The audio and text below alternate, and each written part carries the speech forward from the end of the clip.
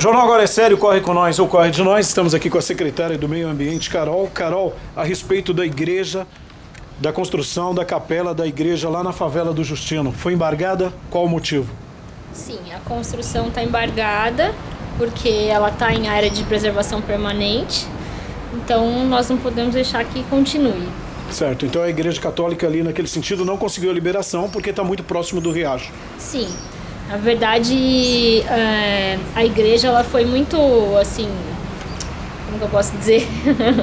Eles receberam abertamente e tentaram tomar as providências para regularizar e na verdade eles não tinham conhecimento mesmo em relação às legislações, como o terreno foi doado há muitos anos, até antes da lei de mananciais e tudo mais, eles acharam que estava tudo certo. ok, mas... Então, portanto, está embargada momento... a construção da Igreja Católica, a capelinha lá na favela do Justino.